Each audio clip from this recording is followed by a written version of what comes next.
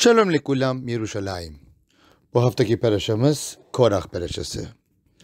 Korah kendi mantığında Moshe Rabenu'ya hepimiz Tanrı'nın ismini duyduk. Hepimiz Sinay Dağı'ndaydık. Niye hala bize özellikle bir liderlik yapma ihtiyacındasın sorusuyla başladı aslında. Aslında gerçekten en büyük isteği Kohen Gadol yani kardeşi Aaron'un yerine geçebilmekti.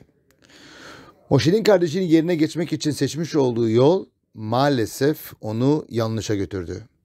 Çünkü Moşe'ye karşı gelmiş olması Moşe'nin verdiği cevaptan anlaşılıyor ki gerçekten sonucu sadece sadece hüsran olacak. Çünkü Moşe dedi ki ona normal insanlar gibi ölürsen ayrı bir durum yoksa toprak ağzını açıp seni yutarsa ayrı bir durum. Buradan görüyoruz ki sonuçta maalesef hüsran olacak. Ama sözünden de düşüncesinden geri adım atmayarak bir değişiklik istedi Korah.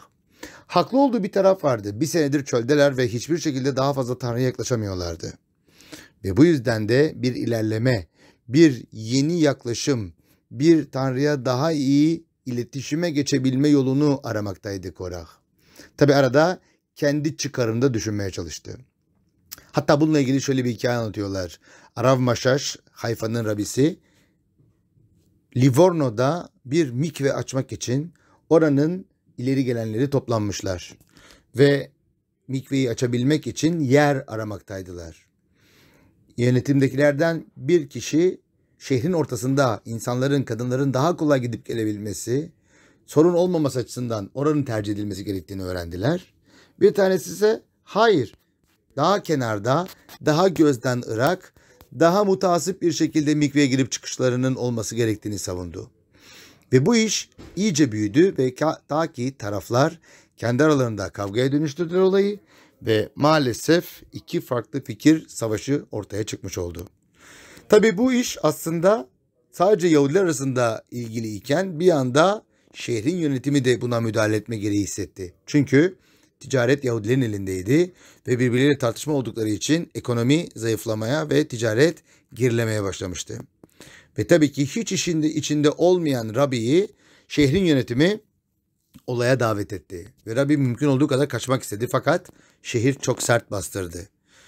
Rabbi yardımcısına iki tane arazinin kime ait olduğunu ve hangi şartlarda satılması gerektiği konusunda bilgi toplamasını istedi.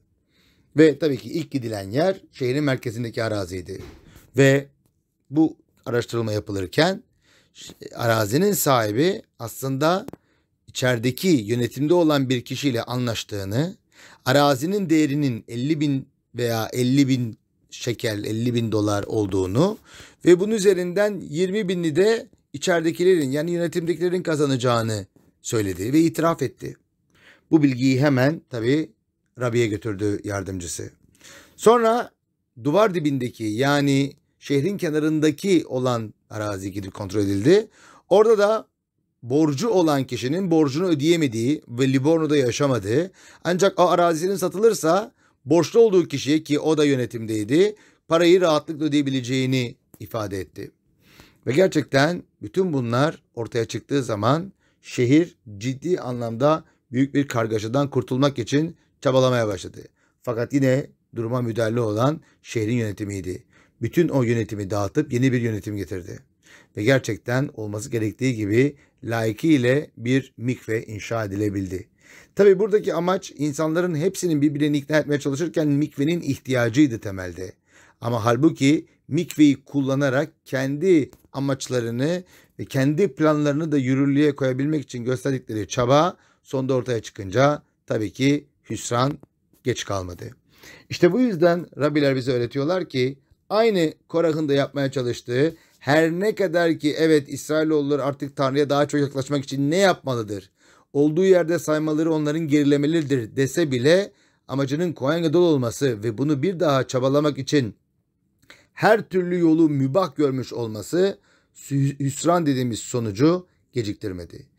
İnşallah her yaptığımız leşem şamayim her düşündüğümüz Tanrı adına olsun ki Tanrı'nın yardımı ve üzerimizdeki beraha daim olsun. Hepimize şabat şalom.